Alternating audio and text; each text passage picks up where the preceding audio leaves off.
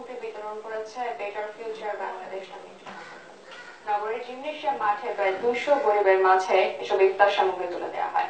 উদ্যোক্তারা জানান, মানবিক দায়বোধ থেকে তারাই উদ্যোগ নিয়েছেন। দেশকে দারিদ্র মুক্ত এবং ধনী গরিবের মাঝে ভেদাভেদ দূর করতে চাইলে সব বিত্তবানের এগিয়ে আসা উচিত বলে মত দেন বক্তারা। চট্টগ্রাম প্রেস ক্লাব সভাপতি কলিম সরওয়ার সহ বিশিষ্ট জনেরা এই সময় উপস্থিত ছিলেন।